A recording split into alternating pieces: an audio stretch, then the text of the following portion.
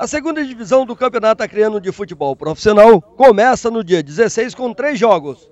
A última reunião, antes do início do campeonato, foi para a entrega da tabela e do regulamento da competição. A participação foi total dos representantes das equipes: São Francisco, Vasco da Gama, Andirá, Amax, Galvez e Acreano. Todos os representantes das equipes receberam a tabela e o regulamento e acompanharam a leitura do presidente e questionaram alguns pontos. O presidente da federação chamou a atenção dos dirigentes quanto ao acompanhamento dos cartões recebidos pelos atletas, para que não ocorra o mesmo erro que eliminou o Plácido de Castro no campeonato de 2010. E quase se repete neste ano com o mesmo Plácido de Castro e o Rio Branco Futebol Clube. O regulamento é bem claro e diz que a obrigação é do clube de saber o número de cartões de seus atletas.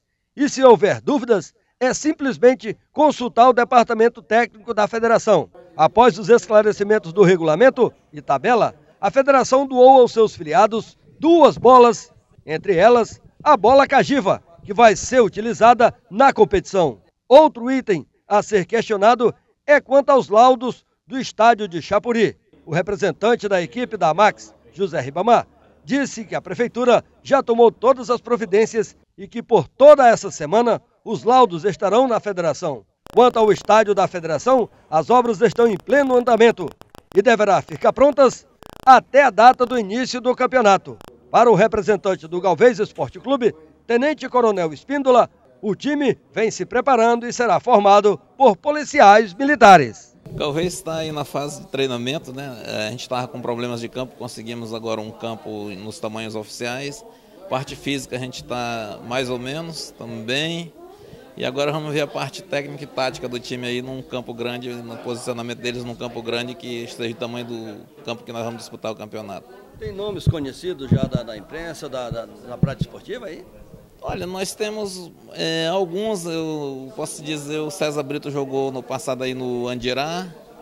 Aí tem um, um jovem aí de, de, dessa turma aí que também disse que jogou aí no Juvenil, do um time do Paraná, é, policial dessa última turma. E são os dois assim que eu lembro no momento que jogaram em, em outros clubes. 100% polícia? 100% polícia.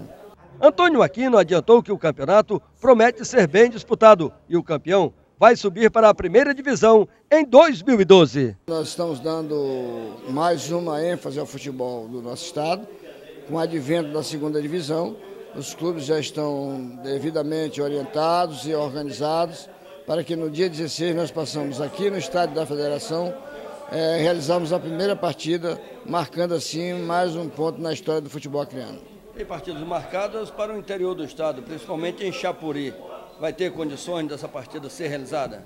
Bom, nós é, cobramos na reunião do representante de Chapuri os laudos é, referente ao estádio. Se eles estiverem ok, não haverá nenhum problema. Aqui nós estamos trabalhando a todo vapor.